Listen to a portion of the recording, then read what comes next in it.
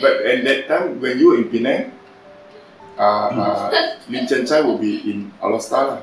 Uh, at that time, we were teaching there. He was still teaching there. lah. So, uh, Yes, so we teaching there throughout his life. Right? Luckily, those days, uh, the teachers were not transferred here and there. oh, few. Only later, to nearing retirement, Apong was transferred to Singapore to be headmaster for primary school. right. And for a primary school from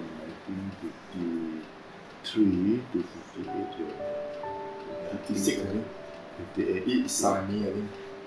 58. 58, 53 to 58. Ah, Yeah, lah, 53, Se Han Yi was born Right. in SB. right. You see? Ah. SB, So, yeah. So after that, uh, as soon as I left school only, put me to, to work as a teacher there. And I Right. already found a job for me. Right. So I had to go straight from uh, Form 5 uh, after, after the result, then teach there temporarily until the result came. Ah. Then confirm my, my uh, the, uh, say, my work there as a teacher. Then we entered the normal class, trained as a teacher. Right. So those days uh, we don't bother about races or this. Yeah, we yeah, eat yeah. together Mm. and we enjoy things together, games and all this. And nowadays are so different, you know. You see the field are wasted. Nobody plays game anymore. Mm. You tell them to play hockey, they don't know how to play. You tell rugby also they know. Those were the old games. Cricket was Yeah, yeah, during our times of cricket not very popular Yeah. in this game. Yes, yes. So things like that.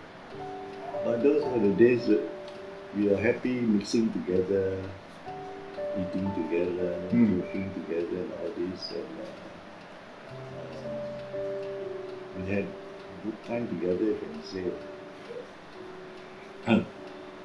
And last time also we had our interesting boyhood there, Ah. kite flying and all that. And we make our own kite. We don't buy it, we make our own kite. And we even made to sell. Oh. One one kite about 10 cents only. you see. Ah, ah. So as soon as we sold our kite, ah, we will be going for ice kacang. and spend the money straight away.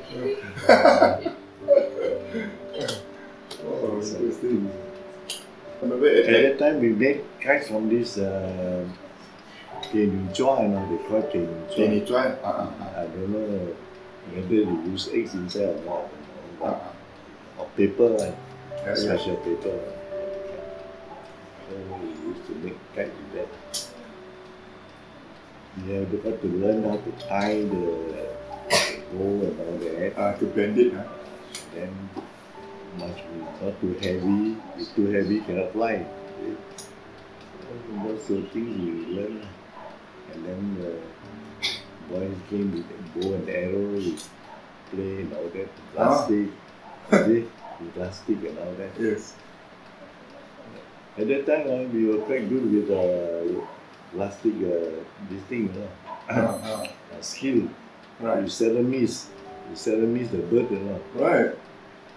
Only if you see the bird quite clearly, yeah, the bird is finished for us. Uh, ah. for, for the bird, it's like a sitting duck. so we're quite uh, skillful with that. Oh. Kite flying at that time also quite uh, interesting. Mm. We had a trick also as usual, you know, to fight for the kite when they the in the fly with the glass. Uh, The grass string, things, yes. So we and chase uh, some with big long poles and all that. And then we get the part kite means the, we managed to hold the string first. We say dapat, dapat. Ah.